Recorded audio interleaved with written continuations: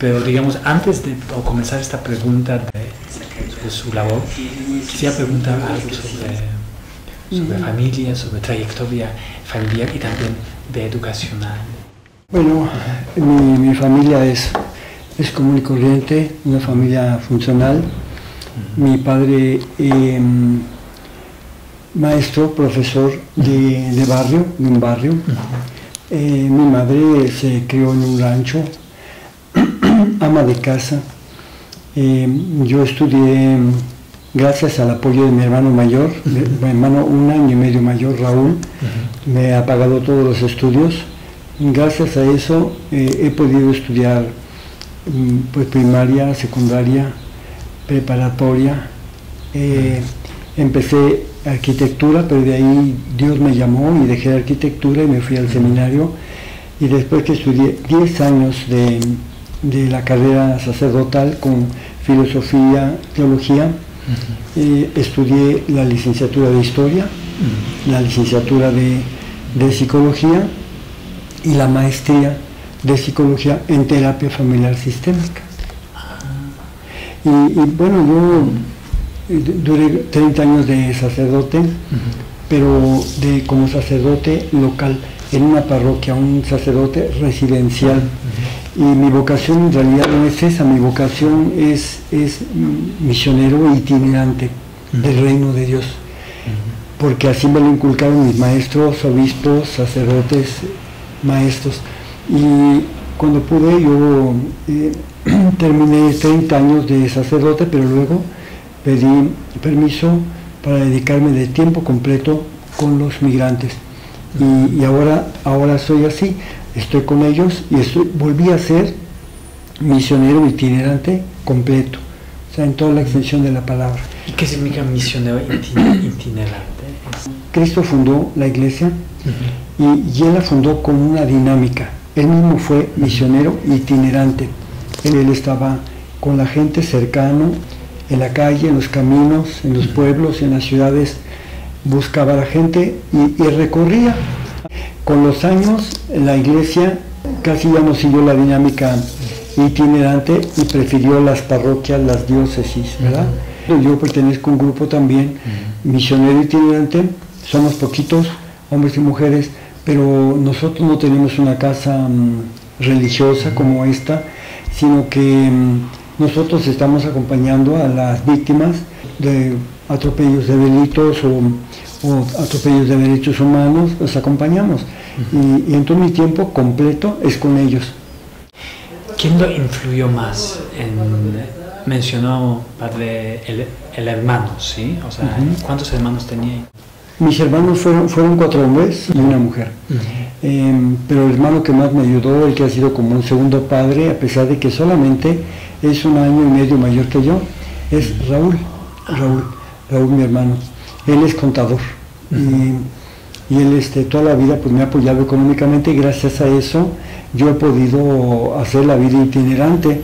Tal vez otros padres no pueden hacerlo porque, porque no, no, reciben el apoyo de su familia. Eh, lo sé que padre él, eh, nació en Texcoco. Nací en Texcoco eh, en un tiempo en que mi abuelo tenía un trabajo ahí Ah. Pero después duró muy poco y después se salió. En realidad duré muy poco en Texcoco y más bien me vine a vivir aquí a la Ciudad de México. Ah, y eso fueron los años 50. Sí, 50, bueno, todo de finales de los 40, principios de los 50, ya aquí. Sí. Y esto se relaciona también con los grandes cambios en la Iglesia Católica, porque tenemos Vaticano II, claro. ¿sí? Juan 23 le impactó? Lo que pasa es que yo me enteraba por los cambios a través de la prensa, pero um, quien sí me, me, instruyó, me enseñó muy bien el significado de los cambios, fue un padre carmelita, eh, Camilo Maxice, mm. eh, Curi, un, un, padre libanés que fue muy importante en la iglesia porque fue, fue provincial eh, fue la máxima autoridad en México, pero luego llegó a ser general de los padres eh, carmelitas y fue autoridad en, a nivel mundial dos periodos. Luego el Papa em, Juan Pablo II pidió a todos los generales, a todos los superiores mayores del mundo, de las congregaciones y órdenes, que mm, nombraran un coordinador. Y todos pensaban que iban a nombrar al padre general de los jesuitas. No, nombraron al padre Camilo. Entonces fue un hombre visionario, un santo, un crítico también de la iglesia, fue muy fiel a la iglesia y entonces él fue eh, uno de los principales que empezaron a darme elementos para seguir el Vaticano II. Yo, yo he seguido el Vaticano no como una anécdota, como una materia en mis estudios, sino lo he seguido como un libro de cabecera. Y, frecuentemente todos estos años recurro a él. Eso también tiene que ver mucho con el impacto de la teología de la liberación en América Latina, a diferencia de otras regiones, por ejemplo en claro, Claro. ¿Cómo lo impactó o cuál es el impacto en México también? Porque eso es muy interesante. Yo tenía apenas unos dos años eh, cuando se tuvo la segunda conferencia episcopal latinoamericana en Medellín, Colombia. Ahí sacaron conclusiones muy importantes. Bueno, Medellín es la versión latinoamericana del Vaticano II. Ah. El Vaticano II son directrices generales, pero, pero se tienen que aplicar, bajar y aplicar a las realidades concretas de cada conferencia episcopal. Y en el caso del continente, eh, Medellín fue la asamblea encargada de, traducir todas esas directrices generales del Vaticano II y llevarlas a la práctica. El año que entró cumplimos ya 50 años ah. de, esta conferencia. Fue clave porque definió varias cosas. Definió, primero, la metodología, ver, pensar y actuar. Ah. La primera vez que de veras se hacía un análisis de la realidad en la iglesia después iluminarla con la palabra de Dios y magisterio de la iglesia y luego ver qué se iba a hacer, compromisos pastorales. Esto fue importante. Es la primera vez ahí que aparece en la opción preferencial por los pobres la influencia de la teología de la liberación. Gustavo Gutiérrez, de hecho, asiste y entonces es una, conferencia muy influyente que va a marcar prácticamente las demás conferencias restantes. Entonces yo también como estudiante, en los años 70, estudié mi teología en los años 70, 70, 74. Pude, em, pude conocer a varios eh, teólogos de la liberación y leer también teología de la liberación. Em, después yo estuve en Oaxaca 10 años, estuve en Oaxaca 10 años y allí en Oaxaca yo pude observar más de cerca ya in situ eh, cómo aplicaban la teología de la liberación y entonces em, pude ver, había algo que no, no, checaba muy bien, algo que no estaba bien, pero no sabía qué era. Y lo descubrí. La opción preferencial por los pobres decía que no era, no era ni exclusiva ni excluyente, pero en la práctica sí lo era. Sí, excluían a los ricos.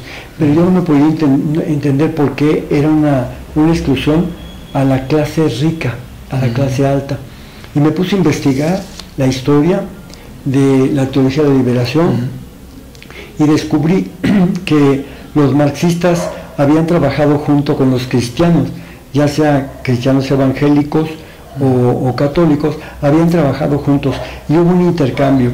Los, los marxistas pasaron a, a los cristianos el análisis de la realidad como un instrumento científico, pero, pero también pasaron un poco la lucha de clases, un ah. poco.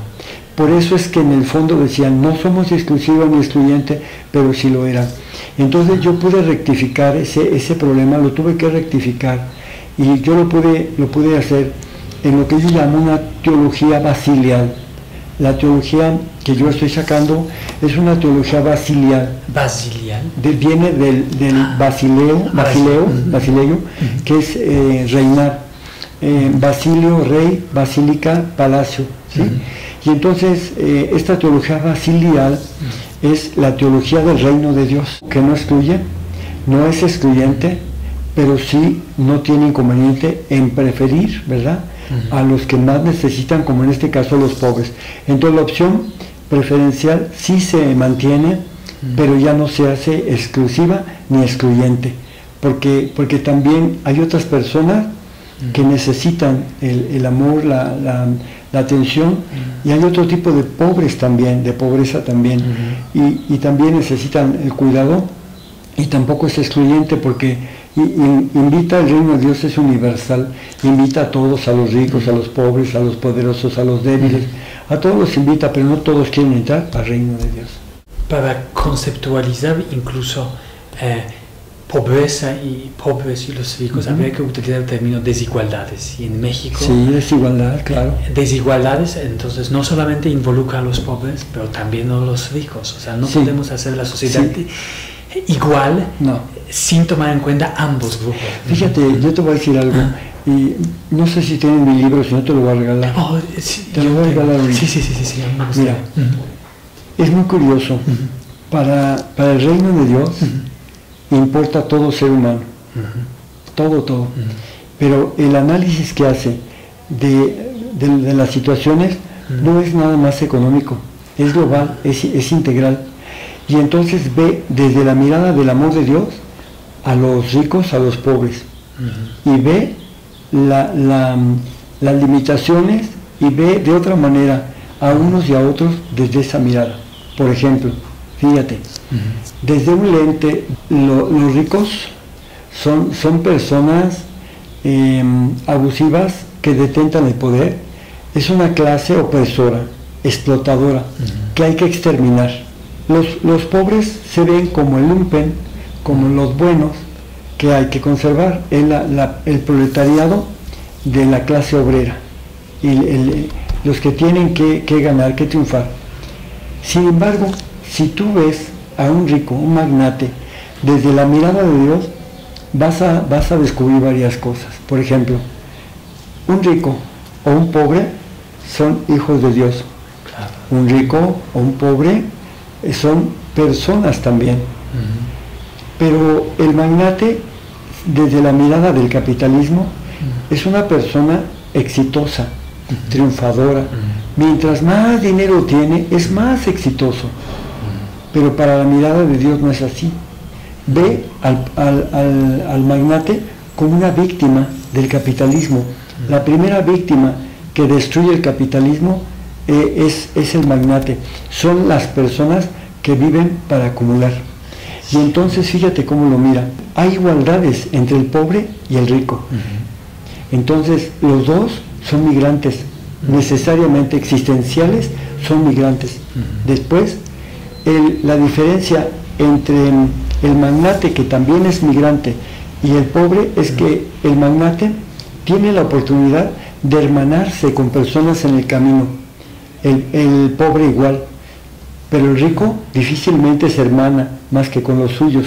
En cambio el pobre no. También el magnate es una persona que necesita de Dios, pero desgraciadamente lo ha hecho a un lado para poner el dinero en el lugar de Dios.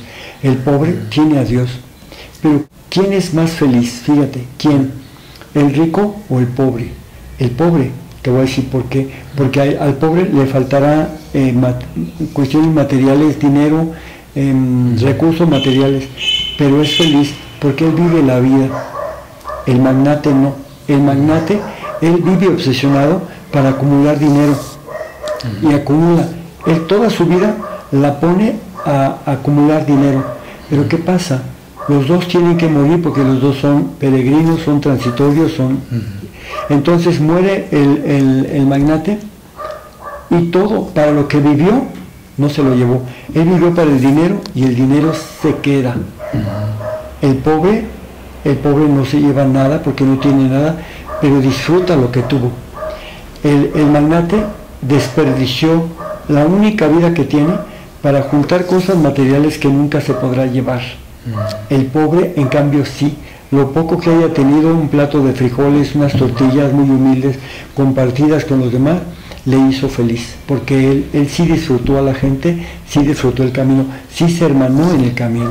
Pero al mismo tiempo, según las últimas cifras de Coneval que mide la pobreza, la pobreza es 52.3 millones de la gente en México. O sea, como, pues es el número más grande del mundo, yo digo.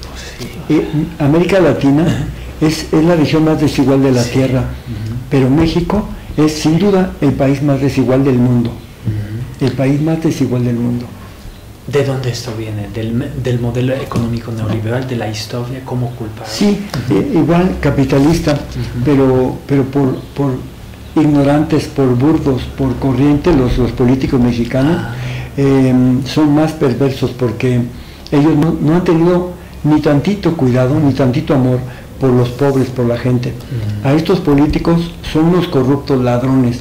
No les importa eh, seguir acumulando dinero, ni a los magnates tampoco. No les importa que México tengamos 52 millones de pobres. No les importa que, tengamos personas eh, indígenas, campesinos, mujeres en, retraso. Eh, ¿Por qué? Porque mm, ellos solamente piensan en acumular. Este gobierno no gobierna para los mexicanos, gobierna para los intereses capitalistas de empresas, de desarrollos eh, de interés transnacional. Por eso eh, no pueden comprender eso, porque su corazón no está con la gente, no aman a la gente, no la aman. El, presidente municipal, el presidente, el gobernador, el presidente de la república, no aman, normalmente no aman a su pueblo. Ven cómo los van a robar, qué les van a sacar. Eso es lo único que les importa. Y como padre de todos esos programas implementados, digamos, desde, me acuerdo, Salinas De solidaridad, después progresa, oportunidades durante Fox y ahora una llamada prospera incluso social. O sea, es una burla. O... Son eh, programas sociales encargados de administrar la pobreza y aprovecharla en tiempos electorales. Para eso son. no es cierto que el, que el gobierno de México quiera acabar con la pobreza, mentira porque no le conviene. Quiere mantener la ignorancia de la gente, la, pobreza, para seguir administrándola y sacándole dinero. Pero es un, gobierno ateo, porque aunque es muy religioso, muy religioso, es un, gobierno este, ateo práctico, aunque sea religioso, porque no tiene fe, porque no conoce a Jesús, porque no, obedece a Jesús, de, de amar y servir a sus hermanos, sobre todo a los más pobres, a la gente más olvidada de México. Sí, regresamos un poquito sobre la trayectoria eh, educacional y también laboral del, padre. ¿Qué pasó en los años 80, 90 em, para llegar a la fecha 2007 cuando se fundó? Sí, el albergue. Sí. Yo eh, había estado eh, en la montaña con indígenas, había estado con ellos. Mm, pero yo pertenezco a, a, Toluca, eso creo que pertenezco a Toluca. Pero pedí permiso para ir a la montaña con los pobres. ¿Me lo dieron? ¿Y dónde? En, en, la Mixteca Alta. Ah, En la Mixteca Alta estuve ahí varios años. Después se terminó mi permiso, volví unos años a Toluca para, para volver, para volver otra vez a Oaxaca, pero ya no en Oaxaca, en la arquidiócesis, sino en Tehuantepec, en el istmo de Tehuantepec en la zona zapoteca del Istmo. Ahí me recibió el obispo Arturo Loma Reyes, me recibió. Y, he estado ahí con ellos ya desde hace 23, mm, 24 años, he estado ahí con los zapotecos. Y mm, estando ahí en un pueblo vecino, eh, empezaron a llegar niños muy pobres. Los niños del pueblo, de Comitancillo, empezaron a acercarse porque tenían hambre. Muchos de ellos no habían ido a la escuela o algunos iban pero no, no tenían recursos para estudiar. Entonces poco a poco nos dimos cuenta de que era necesario estudiar, eh, ayudarles. Le fuimos dando primero comida, luego los inscribimos en la escuela, pero vimos que no era suficiente. Y entonces decidimos abrir una casa hogar para niños y la, la abrimos durante nueve años, esa casa, nueve años.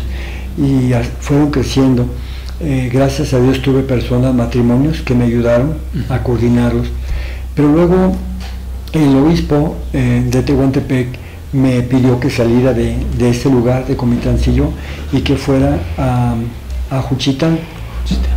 Entonces en Juchitán fui, es una ciudad, y ahí empecé a, este, en la parroquia de, de la Santísima Trinidad a tener, ahí tenía mis niños porque no podía dejarlos y desde ahí iban a la escuela, era párroco y también participaba de, algunos em, consejos, em, de, la, de la diócesis, Consejo Diocesano de Pastoral, Consejo Presbiteral, estaba yo ahí.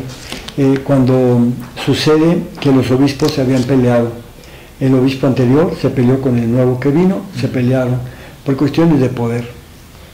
También en la iglesia hay, hay luchas por el poder.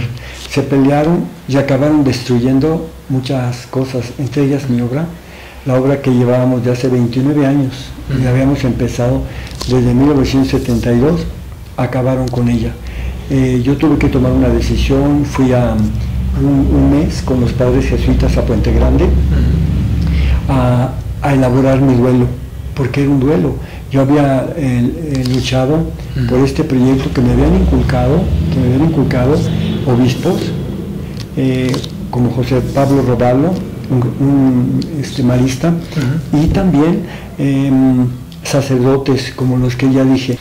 Y cuando eh, yo pensaba que íbamos a, lograr eh, por fin la aprobación de Roma, ya estábamos en los últimos trámites para, para obtener la firma, eh, los obispos se pelean.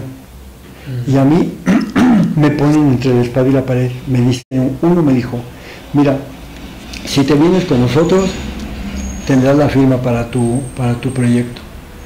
Pero eso significaba estar en contra del otro.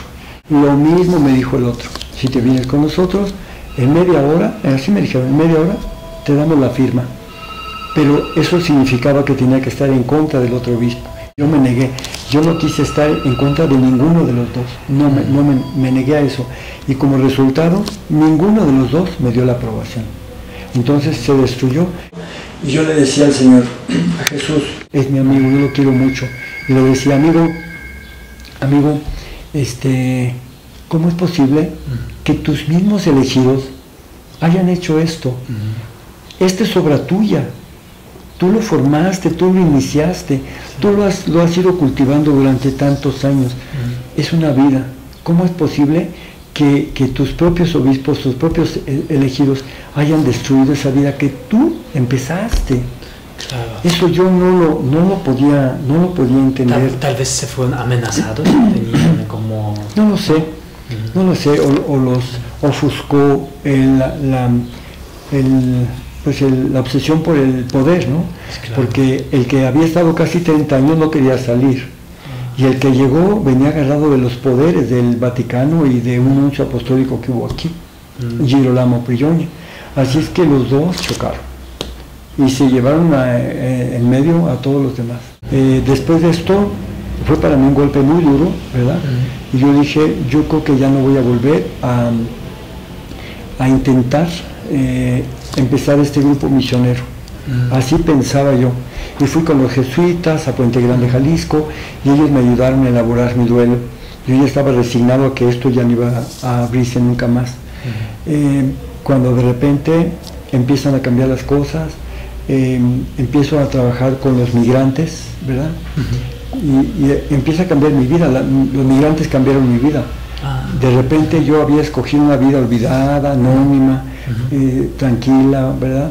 Y de repente eh, estoy con ellos y empiezan a prenderse los reflectores y empiezo a ser famoso y eso no estaba en mis planes ni es cómodo para mí. Mm. Era todo lo contrario a lo que yo hubiera querido. Si a mí me hubieran dado a escoger, yo hubiera anhelado, de veras, de veras, estar como, como en, algún, en algún lugar de la montaña, acompañando a la gente, viviendo el resto de mi vida. Yo hubiera gustado así, pero Dios tiene otros planes. Dios tenía otros planes y de repente aparecen los migrantes, empieza a acompañarlos y, mi vida ha cambiado.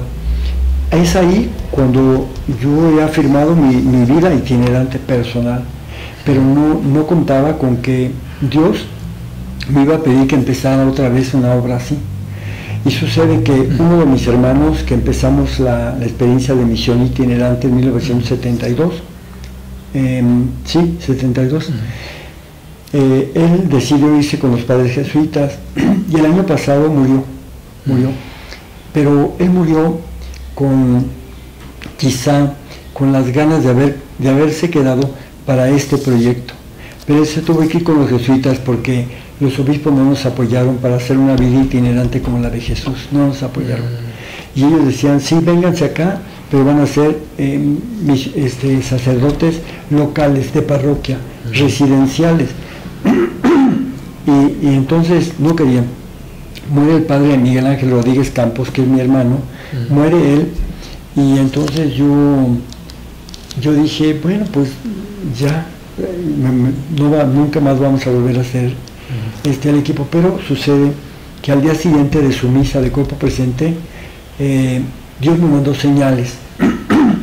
Dios habla a través de personas, a través de cosas, y te habla interiormente. Es un,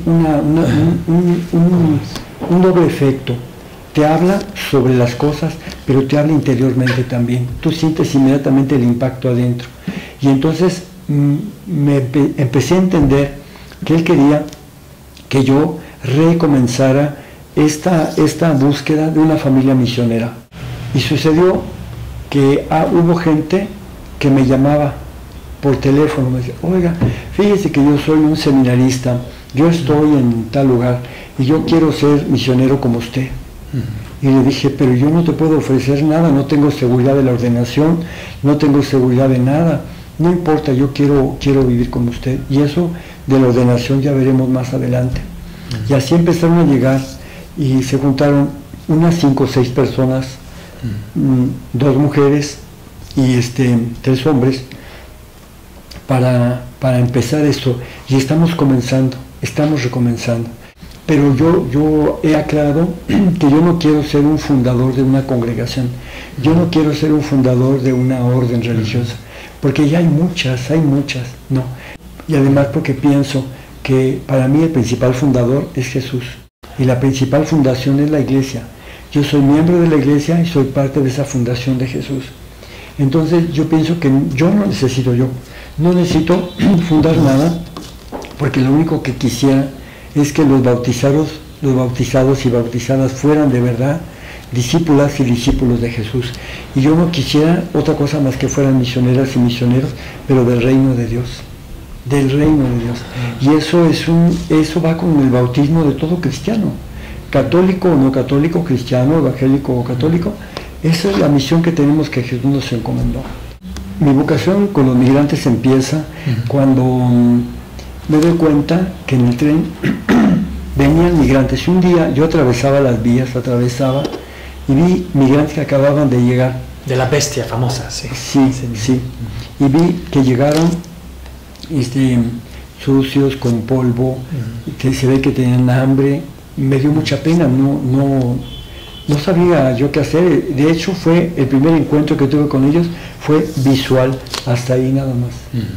hasta ahí pude hacer. Pero después, como vi que no los atendían y que no había ningún padre, sacerdote encargado de ellos, fui con el obispo y le dije que yo quería encargarme. No fue fácil porque el obispo anterior ¿verdad? A fuerza me quería mandar una parroquia. Y él no comprendía que yo tenía otra vocación. A fuerza me quería mandar a la parroquia.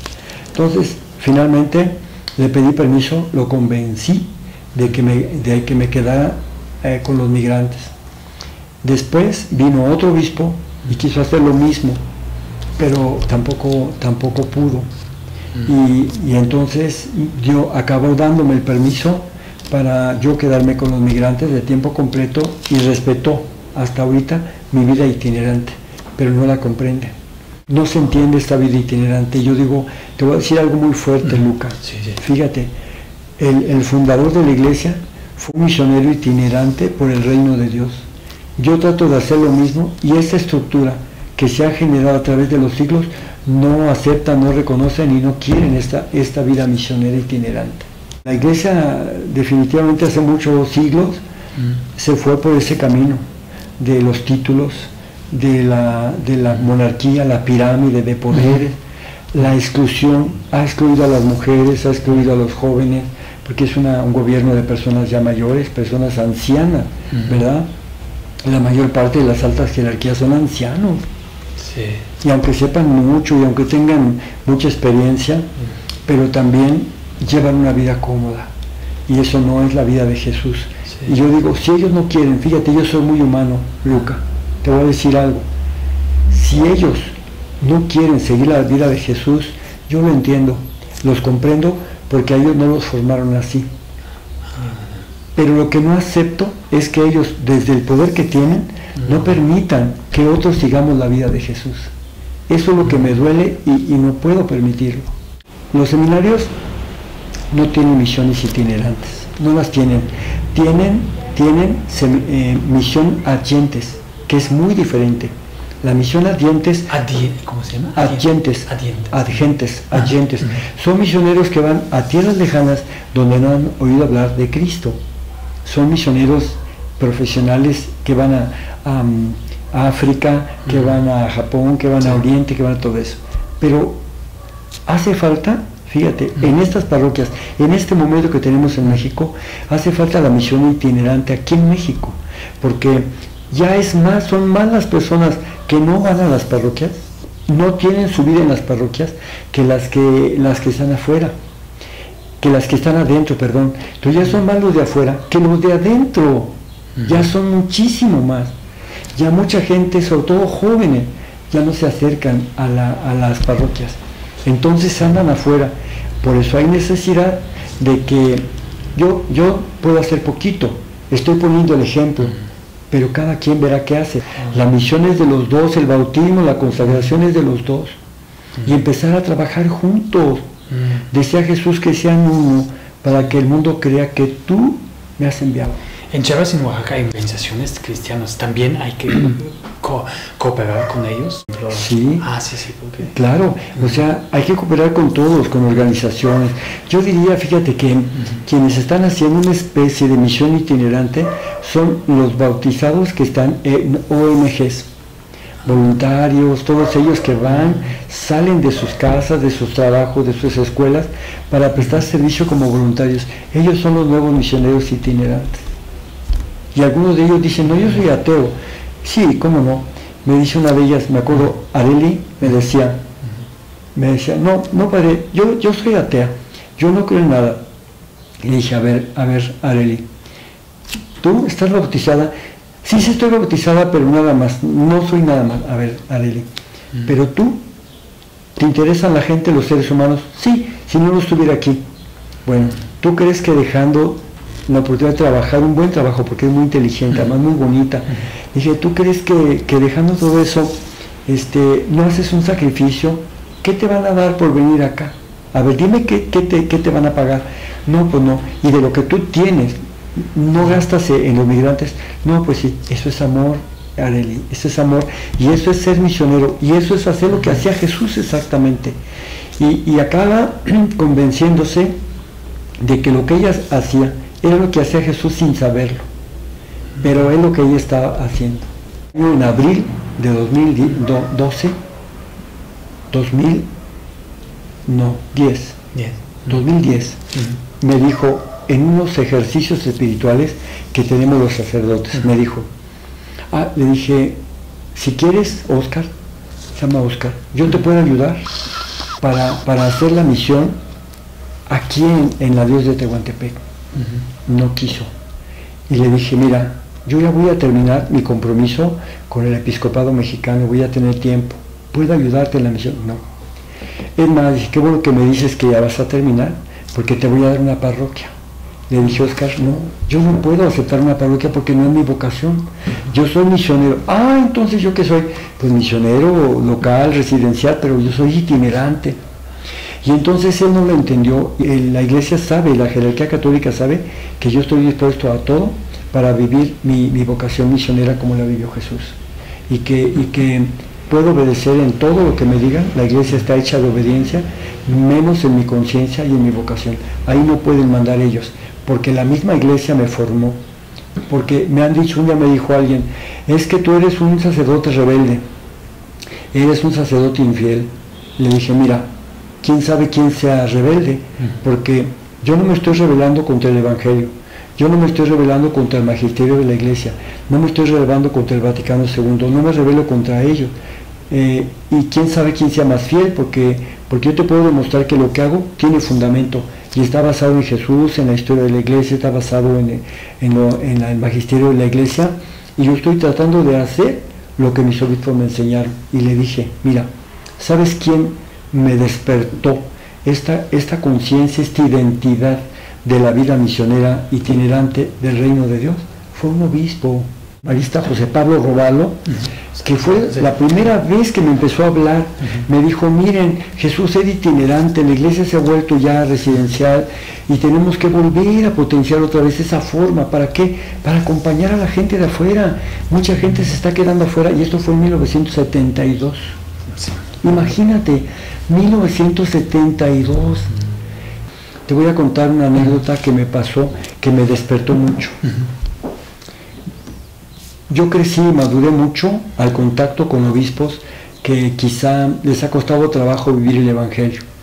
Y uno de ellos me dijo, nos dijo, no solo a mí, nos dijo a los sacerdotes que estábamos ahí, nos dijo, padres, tienen que predicar un Cristo fuerte, un Cristo rico, un Cristo poderoso. Yo me quedé así. Sí, sí, sí. una iglesia, tienen que predicar una iglesia rica, una iglesia poderosa, una iglesia fuerte. Y le dije, ¿por qué? Me contestó, pues ¿quién, quién va a apoyarse en un Cristo débil? En un, Cristo débil, una iglesia pobre. Le dije, oiga, ¿y de dónde sacó eso? Porque el Evangelio dice todo lo contrario. Imagínate, Luca, un sacerdote dándole lecciones a un obispo. Y él, él había sido, él estudió la Gregoriana de Roma y sacó buenos promedios en la Gregoriana de Roma. Y yo dije, a ver, a ver, a ver, explíqueme esto porque no lo entiendo. Y empecé a contradecirlo con textos del Evangelio. Y le saqué textos de, el himno de, a los filipenses 2. Le dije, Cristo siendo Dios, no, no son sus, poderes de Dios, prerrogativas de Dios, sino que se, se hizo, se anonadó a sí mismo, la kenosis, y se hizo obediente hasta la muerte y muerte de cruz. Y me dice el obispo, sí, pero a ver, ¿qué sigue? Por eso Dios lo exaltó y le dio, ah, ya ves, ahí está la exaltación. Sí, pero no puede exaltarlo sin antes pasar por la cruz. Primero tiene que pasar por la muerte, por la pobreza, por todo eso. Y entonces empezaron a discutir muy fuerte y le empecé a sacar otros textos de la escritura, del Evangelio. Total, él tanto le contradije que ya nunca lo volvió a mencionar. Me fui a mi cuarto y yo he platicado mucho con Jesús. Y le decía, Jesús, no entiendo nada. Explícame por favor. Me dijo, tranquilo, es su interpretación. Ah, qué liberación para mí. Porque aprendí que los obispos se equivocan y que pueden decir también herejías como esta, como esa, ¿no? Entonces ya aprendí a usar mi propia interpretación, a buscar la interpretación, a leer en la escritura y a, hacer de Jesús mi informante y mi principal referente, porque Él sí no se equivoca. Todos juntos no nos equivocamos, pero uno solo sí nos podemos equivocar.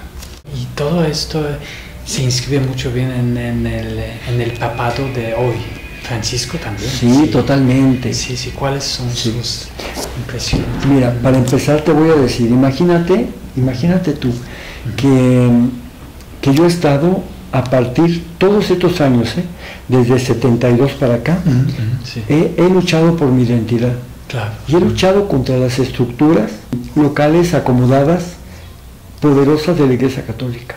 He luchado por ser yo mismo y tuve que, durante muchos años, este, caminar sí como itinerante, pero dentro de los moldes que ellos tenían. Pero llegó un momento en que dije no, no, cuando, ya sabes cuándo cuando decidí arriesgar todo, cuando, cuando me amenazaban de muerte y estuve varias veces a punto de morir eh, siguiendo a los migrantes, eh, en ese momento perdí el miedo a todo. Tengo una situación que hoy mi obispo me tolera no comprende mi vocación, no la entiende, no, pero me tolera, ya me respeta, me respeta. En estas condiciones voy a Roma y veo al Papa sin buscarlo. Yo no lo busqué, no lo busqué, porque primero hablé con el nuncio apostólico, de aquí, este, Franco Coppola, y le dije, a mí me gustaría ver al Papa y platicarle un poco de mi vocación, y platicarle un poco que me ayude a esto, y me dijo, no es necesario, platique con un obispo aquí. Al Papa ahorita no, no lo vea, no es necesario. está bien, está bien. Pues sí, estoy platicando con un obispo, con alguno, pero sucede que de repente la editorial del libro que publicaron en Italia ella buscó la, entrevista con el Papa. Primero fue una audiencia general y después fue ya una, una entrevista personal. Fue personal, como cuatro minutos me daban, cuatro o cinco. Yo no aproveché tanto, yo, yo muy pocos minutos lo necesario porque vi al Santo Padre en el rayo del sol. Pero lo suficiente como para, para venirme tranquilo, me vine contento. Yo no sabía, yo tenía dudas si él sabía o no sabía de mí y sabía o no sabía de mi trabajo. Yo no sabía, pero ahí me di cuenta que sí, porque además de que me trató muy amablemente, me, me echó las manos y los antebrazos, así me los regalaba los dos. Eh, le dije, Santo Padre, yo soy el Padre Solalinde, que trabaja en México con los migrantes. Y se rió y me dice, sí, lo sé, lo conozco y conozco su trabajo. Continúe. Sé que no es fácil, me dijo, pero continúe. Y le entregué por primera vez, Luca, le entregué por primera vez una carta que me la pudo recibir, le entregué dos libros. Un libro, el libro que yo hice del Reino de Dios, que les voy a regalar a ustedes ahorita, ¿sí? Y les regalé también el libro que acabábamos de, de la editorial, lo sacamos. Fue para mí como la- el espaldarazo de Dios. Yo sé que él, él me conoce, sé que me ama, yo lo amo profundamente. Y que he tratado de ser fiel todos estos años, pero es duro el rechazo de tus propios hermanos y de la autoridad. Entonces cuando la máxima autoridad te dice, eh, continúa, sé que no es fácil, pero continúa, me lo insistió, te sientes Uno no se siente tan solo. feliz. Ah, Sí, solo nunca me he sentido de Dios, pero de, de mi iglesia a veces sí. Yo me sentí muy, muy, muy apoyado por él. Este, pero eso no significa que voy a venir a hacer la guerra con mis hermanos obispos.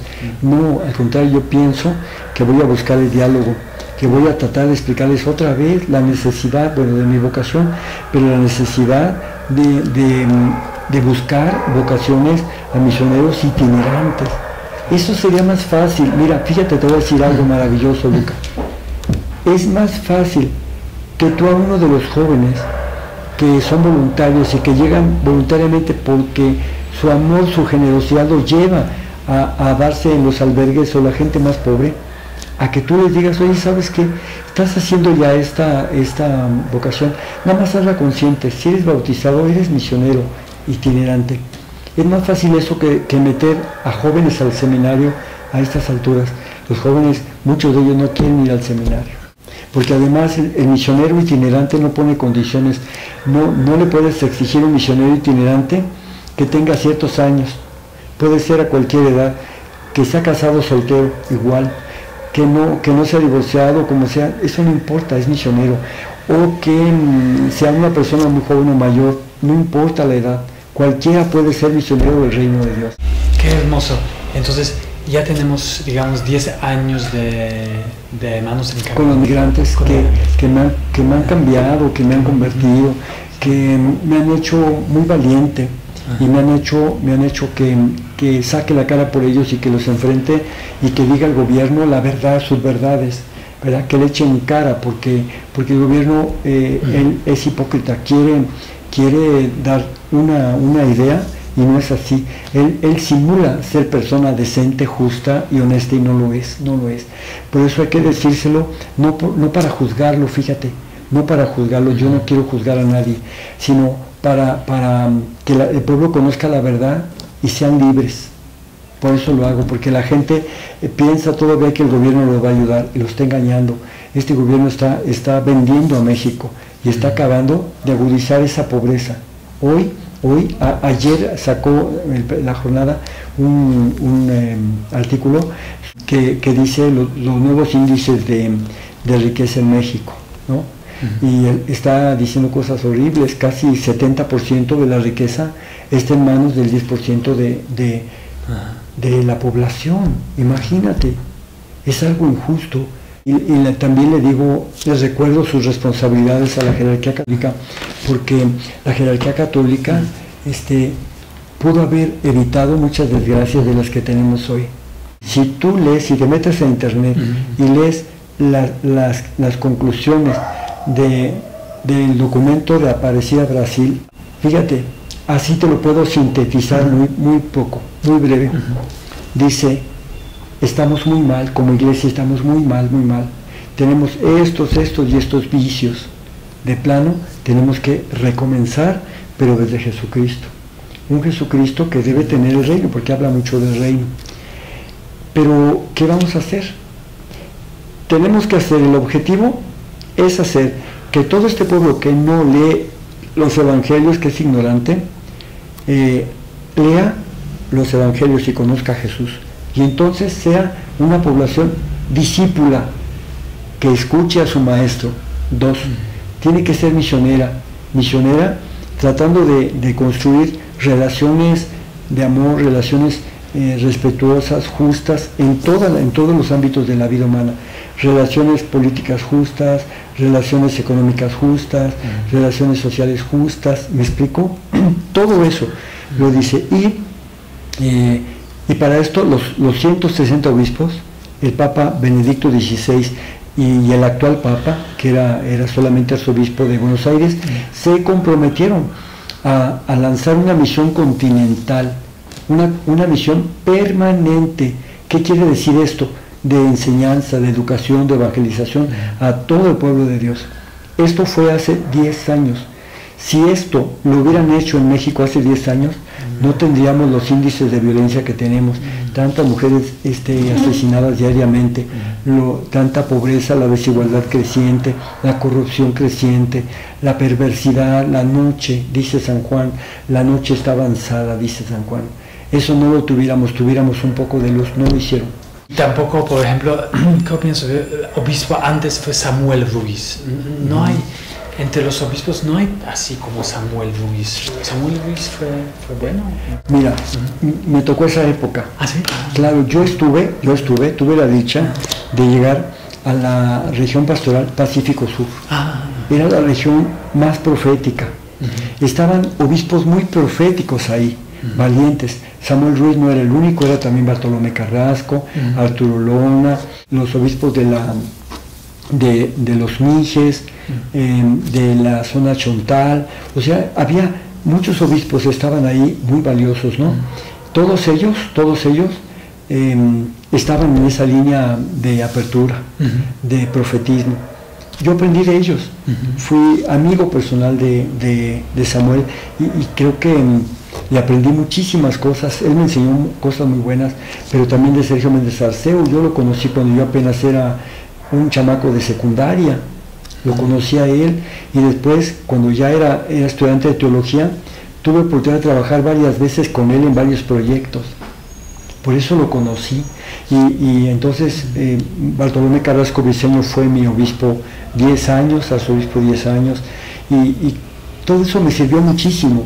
Por eso te digo, pero hoy, hoy solamente está Raúl Vera. Y está empezando como a despertar uno que otro por ahí.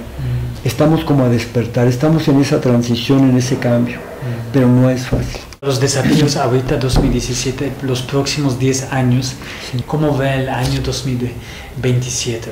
¿Logramos cambiar? Porque yo creo que México necesita al Padre, porque en este país observo, o sea, no hay personas tan comprometidas con el cambio, con el cambio espiritual, pero también político. Cambio integral. Sí, sí, Me, encanta eso que dices. Es muy, muy buena captación tuya. Es una intuición muy, muy importante, muy integral. Aquí la palabra clave es el cambio. Es la palabra clave que traducida al lenguaje católico es conversión. Conversión personal, conversión de estructuras, conversión pastoral, conversión de las estructuras políticas, conversión de las estructuras económicas. ¿Cómo sería una, una estructura, una conversión en las relaciones políticas? Sería hacer un doble movimiento. Uno, de arriba, del gobierno, del poder, hacia abajo, para informar a la gente, para, para instruirle, para informarle perfectamente bien a todas las personas, para que quedara claro lo que está pasando. Dos, que, que de abajo hacia arriba de la gente hacia el poder eh, pudieran dar sus decisiones. Una vez que la gente ha entendido lo que está pasando, está bien informada, puede tomar sus decisiones conscientemente. Creo que eso lo tiene que hacer el nuevo gobierno, pero a partir de 2018. Este gobierno no lo va a hacer, la Iglesia Católica tiene una estructura también mm, autoritaria, y católica, no consulta, no, no, no hace, y sobre todo, a ver, ¿a quién, ¿a quién informa? Si solamente tiene control, a los, a los residenciales, a los, a los parroquianos, feligreses que se acercan a la parroquia. Y eso es una, un boletincito, una hojita parroquial, ¿qué puede informar ahí? Y en cambio a todos los demás bautizados que están afuera en la calle, los que llama alejados, no tienen ningún contacto con ellos. Entonces se necesita una transformación en las estructuras. Este documento de Aparecida Brasil te lo dice. Dice que hay que liberarse de las estructuras caducas, que hay que generar nuevas estructuras. Para mí es un documento importantísimo, Lucas, importantísimo. Y mi pregunta es por qué los obispos no obedecen. Fíjate que hay una parte muy importante, dos, dos preguntas que yo haría a estos obispos aquí. Una, cuando María y, Marta, hermanas de Lázaro, de Betania, muere su hermano. Y Jesús se entera y después de días vuelve con ellos. Marta va y María, las dos, van a encontrarte con Jesús. Y le dicen lo mismo, fíjate. Le dicen, si tú hubieras estado aquí, no hubiera, no hubiera muerto mi hermano. Qué expresión más dura. Eso equivale a decir a los obispos, mira obispo, obispos de México, si ustedes hubieran hecho su trabajo aquí, si, hubieran, si hubieran estado haciendo lo suyo, no estaría muriendo tanta gente, no tendríamos tanta corrupción en México, no teníamos el, el deterioro nacional que tenemos en México. Claro, porque yo creo que también es la vinculación al poder corporativo de la, del Partido Revolucionario Institucional, que yo creo que eso es también, habría que ver que funciona y todas estas estructuras del poder funcionan. Entonces, los obispos tal vez entraron en relación porque es como así funcionó yo creo que PRI, el PRI corrompe también, de alguna manera, para tejer las relaciones en poder. Y la otra pregunta muy fuerte, fíjate, San Juan Bautista ya está en la cárcel, Jesús está empezando la misión en la zona de, Judea, por el Jordán.